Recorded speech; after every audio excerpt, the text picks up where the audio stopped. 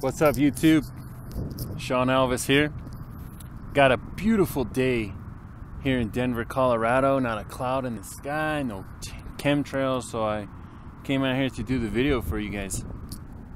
Anyways, um, just before I get into the video, I just wanted to say, you know, a lot of guys, you know, society tends to put single men, you know, gives them a stigma, you know, like and the reason why, you know, you know, because women will come up to me and ask me, why aren't you with somebody? Why aren't you married? You know, and, and you know, you, you kind of feel bad, but the honest answer is because there's no good women out here. There really isn't, you know? Bunch of wicked women out here. And that's the truth, you know, but you know, the Bible says that it's better to dwell in the wilderness than with an angry and contentious woman. So, I mean, and that's in the wilderness all by yourself, out of away from civilization. So, you know, you can quickly, easily see why so many men are going MGTOW, going their own way because these women out here, they ain't trying to help us. They ain't in their proper role. You know, they're feminists. They think they can go out and uh, make money on their own. But you know, that's a different video. I just wanted to get that off my chest real quick. Anyway, into the video. I'm going to start today with a reading um, from the letter from St. Paul to the Corinthians, Second Corinthians chapter 12, verse number 10 says, Therefore, I take, you know, and I'm not going to read the backstory on this. You can go read it yourself if you read uh, chapter 12. But chapter 12, verse 10 says, I take pleasure in my infirmities, in reproaches, in necessities in persecutions, in distresses, for Christ's sake. For when I'm for when I am weak, then I'm then am I strong. The word of the Lord. You know, today I want to talk about strength. I want to talk about strength. What does it mean to be strong? You know? Um, I was at the hospital the other day, you know, and, and when, sorry, I'm sorry, it's kind of windy. I was at the hospital the other day and they asked me, or they didn't ask me, but you know, they asked the person I was with, how much pain are you in, you know, on a scale from 1 to 10. You know, and, and you know, 10 being the highest, 1 being the lowest.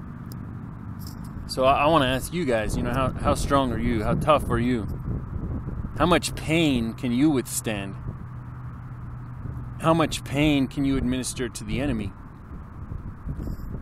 You know, I was talking to a friend of mine the other day, and he was telling me about how his life and, and his situation in his life that he was telling me about all these people who were mistreating him and how they were mistreating him and, and how he was angry about it and you know, some of the times I was telling him, yeah, you're very righteous to have that anger. That was they're mistreating you. And he was explaining how he was getting back at them, you know, and and and what he told them and and how he was reacting and responding to what they did to him and what they said to him. And they were trying to bring him down, you know, and boss him around and this and that and tell him what to do and and I was kind of thinking and relating this to how YouTube is banning our channels, you know, banning the MGTOW channels and shadow banning our videos and demonetizing them and things like that. So, how do we respond when the enemy attacks us? You know? And the advice I gave to my friend was this I said, What if I told you that to really hurt the enemy, to truly destroy them, You have to attack them with love and love them. Be kind to them. Pray for them. Well, he didn't like he didn't like this answer. Uh, he was arguing with me and telling me, "No, no, no, no. I need to, I need to, def- I need to do things the way I'm doing." He wanted to destroy them with his power. He wanted to strike back with his strength and his intelligence and his quick wit. You know, Ephesians chapter 6, verse 12 says, For we wrestle not against flesh and blood, but against principalities, against powers, against the rulers of the darkness of this world, against spiritual wickedness, wickedness in high places. I want you guys to consider for a moment that you are not as strong as you think you are. You know? What do you do when you're surrounded by the enemy? When you're outnumbered, you're outgunned. And especially, how do you defeat an enemy who's your own friend? Who's your own relative, your own flesh and blood, your neighbor, somebody you grew up with, somebody you live with, somebody you see every day. You work with them. You know, the Bible says we wrestle not against flesh and blood. So, what if I told you that your true enemy is, is not flesh and blood? It's not another human being. But it's the ideology that this person believes in. You know, they're following Satan, they're following the devil, and basically they're believing lies. You know, the devil has them tricked into thinking that the truth is that, that the lie is actually the truth. You know, if you believed drinking alcohol and smoking drugs was good for you, you know, it, it would eventually destroy you. It would destroy your liver and, and you die. It would kill you. You know, in the same way, I can see men who think that it's okay to pump and dump women. It's okay to lash out at women and, and, and, uh, and mistreat them you know, because they're angry and they're retaliating of what the women did to them, you know? And that's not to say that sometimes people shouldn't be rebuked for their bad behavior and, and their actions shouldn't be called out. And this person, you know, shouldn't be called out for their BS. But there is a difference between attacking somebody out of revenge and spite because they hurt you and, and and trying to prove to them that you're right, you know versus gently, lovingly rebuking somebody in love and explaining to them how they can correct themselves and why they're wrong, you know? And I was thinking this morning, why is it that you can go watch some hardcore pornography that you the hardest core pornography any pornography that you can think of right there at the at your fingertips at the push of a button on your smartphone. All for free. It's all free. You don't have to pay for any of it. You mean I you mean I can't even download like the number one pop song right now? Like I can't go download the number one song for free. They're even gonna charge me like at least a dollar, right? But I can go download any porn I want or and, and, and watch it, stream it for free.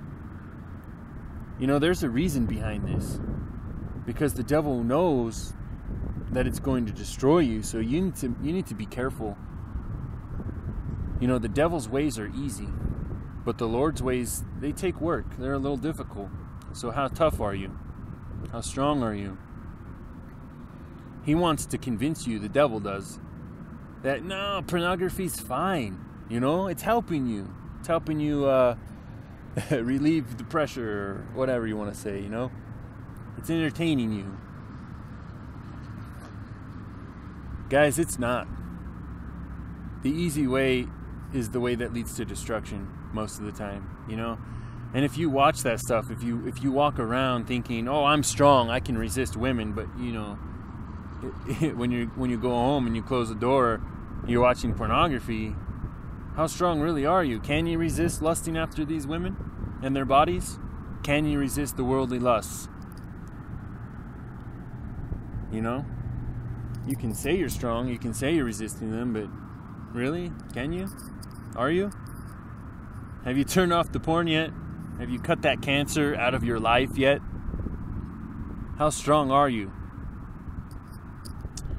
Um, 2 Corinthians chapter 12 says, For when I am weak, then I am strong. It's not until we realize how weak we are that we truly can become strong. Think about it. Nobody goes to the gym to work out thinking that they're strong. No. They go to the gym. The reason the whole reason they get in the gym is so that they can strengthen their body because they realize they're weak and they need to be strengthened. They need to exercise. Think about it. it's the same reason why I go to church, why I read my Bible.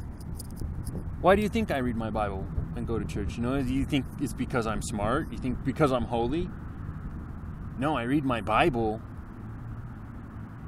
because, not because, I mean, don't get me wrong, it's wise to read your Bible. But I don't read my Bible because I'm wise. I read my Bible because I know that I'm not wise and I need to get wise and I recognize I need to take the necessary steps in order to be wise.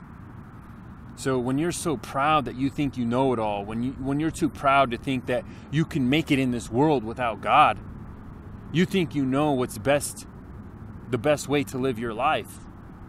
You know you're in control of your life. Friends, that's when you open yourself up for failure. That's when you can fall.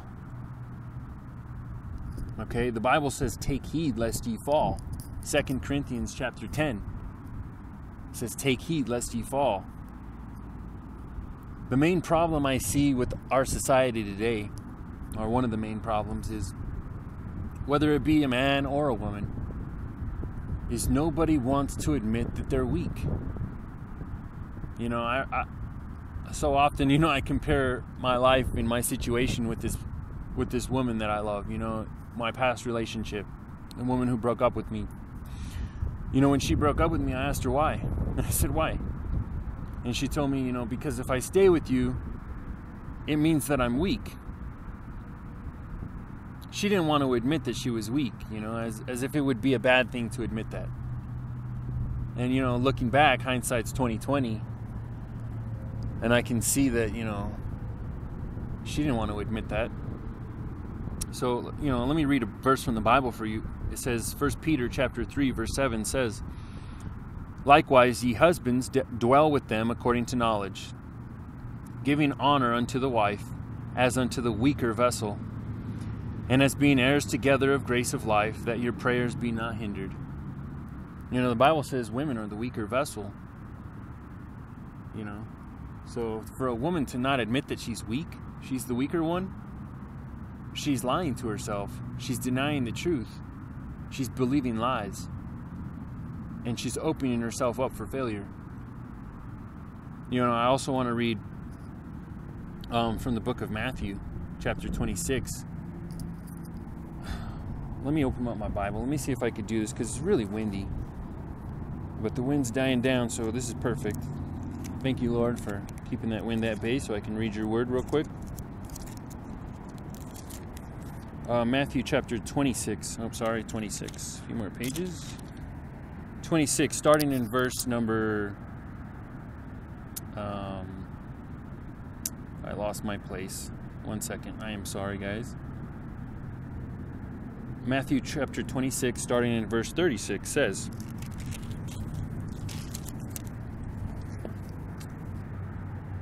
Then cometh Jesus with them unto a place called Gethsemane. And he saith unto them, Disciples, sit ye here while I go and pray yonder. And he took with him Peter and the two sons of Zebedee, and began to sorrowful and, and began to be sorrowful and very heavy. Then saith he unto them, Jesus says to his disciples, My soul is exceeding sorrowful, even unto death. Tarry ye here and watch with me. And he went a little further and fell on his face and prayed. So, you know, Jesus is telling him, hey, look, I'm really worried because, you know, he's about to get taken away and be crucified. So he's, he's scared and, and he's, and he's sorrowful and, and all those, you know, emotions that go along with it. And he's telling his disciples, hey, just hang out here and wait for me while I go over there and pray on my own. And he said, and Jesus fell on his face and prayed, saying, "Oh my Father, if it be possible, let this cup pass from me. Nevertheless, not as I will, but Thou wilt." You know, we could see that Jesus didn't want to go through this. He was scared, but he said, "You know what? I'm willing to do things the hard way because it's the right way." And he's praying for strength. He's praying for God to give him strength. And he cometh unto his disciples, and findeth them asleep, and saith unto Peter, What could ye not watch me one one hour? What could ye not watch with me one hour? he's saying he he went back to his disciples and he found them asleep. You know, he's like, I told you guys, just stay awake for one hour while I pray. And he he went back and he found them asleep. So he says, Watch and pray that ye enter not into temptation. The spirit indeed is willing, but the flesh is weak. So he went away again a second time and prayed, saying, Oh, my father, if this cup may not pass away from me except I drink it, thy will be done. And he came and found them asleep again, for their eyes were very heavy. And he left them and went, and went away again and prayed a third time, saying the same words. So he keeps praying. Then cometh to his disciples again and saith to them, Sleep on now and take your rest. Behold, the hour is at hand, and the Son of Man is betrayed into the hands of sinners. Rise, let us be going. Behold, he is at hand that doth betray me. So we see from this reading, you know, sometimes we hear what Jesus wants us to do. And we, we even believe it in our heart that it's the right thing to do. Hold on. I just wanted to pass the dog without. At these uh, people invading my video. Um, but yeah, we can see that you know sometimes Jesus tells us what to do, and we believe it, we hear it, we understand it, but our flesh is so weak that we fall short and we can't do it. You know, we can see that the disciples couldn't even stay awake one hour with Jesus as he prayed. You know, and, and I remind you, the disciples, I'm sure they tried their hardest to stay awake they probably tried so hard and but their flesh deceived them you know and that's not to give them an excuse. You know he gave them a clear command to stay awake and wait for him while he prayed. And they, they couldn't do it. They fell short. And you know jesus wouldn't command us to do the impossible. He, he, he, he commanded them to do something difficult but not impossible. You know just like god was commanding jesus to do something difficult you know, to sacrifice him his life for us, to go to the cross for us. But it wasn't impossible, you know. So Jesus was praying for strength. So what's my point here? What if you don't believe that you're weak? What if you don't believe you should stay awake? What if you don't believe Jesus in the first place? You know, and this gets to the main point of my video. In most of these women out here, they don't want to admit that they're weak. They don't want to admit that they need a man. You know, they don't, that they need to submit to their husbands. And it's so sad that we have to watch them destroy themselves, destroy society, destroy families, because they don't want to admit that they're weak.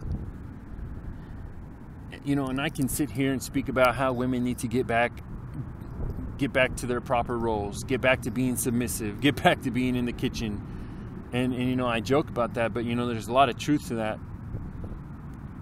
And how women, you know, need to stop wearing these pants, especially these these tight-fitting yoga pants, because it's basically symbolic of them wearing the pants in the family, you know, and and and, and trying to symbolize that they're strong and independent. You know, I use no, strong, independent woman, right?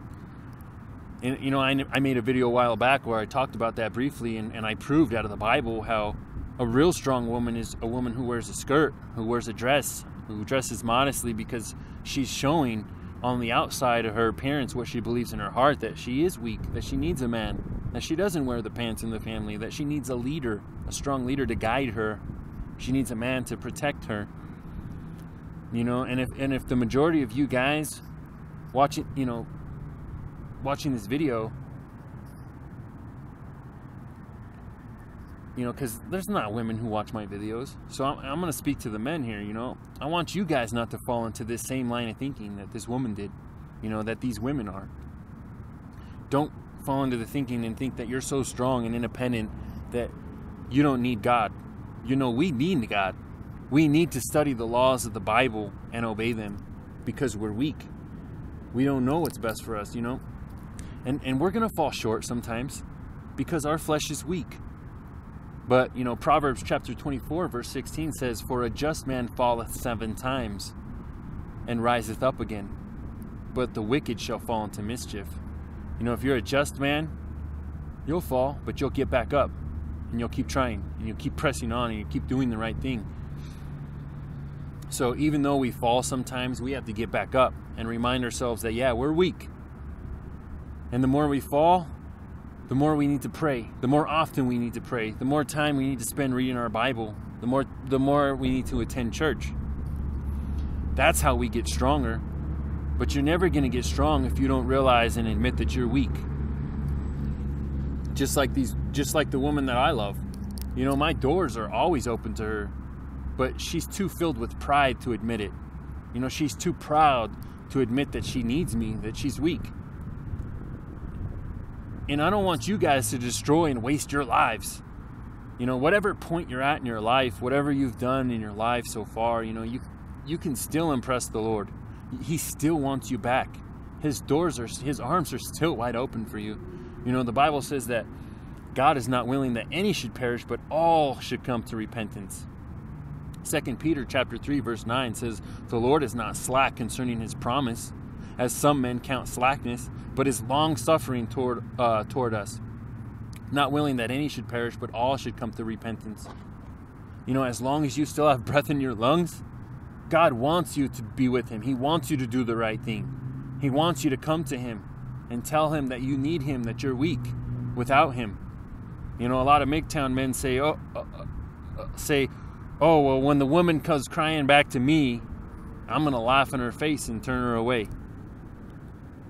You know, if, if you reject people in this life, you know, God can treat you how you treat others.